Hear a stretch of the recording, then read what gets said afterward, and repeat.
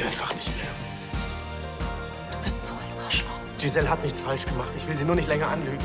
Du bist der größte Egoist, der mir je begegnet ist. Du denkst nur an dich. Egal, wie sehr du damit den Menschen verletzt, die dich lieben. Arme Giselle. Sie läuft Tore ja trotzdem ständig in der Firma über den Weg. Soll ich ihm einen reinhauen? Vielleicht kommt er dann zur Vernunft. Ich will endlich eine Entscheidung haben. Anna, ich kann dir keine andere Antwort geben als die, die ich dir schon gegeben habe. Ich kann jetzt hier nicht weg.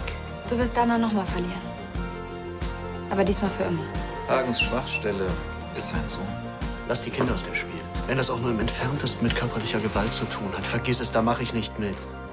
Körperliche Gewalt wird völlig überbewertet.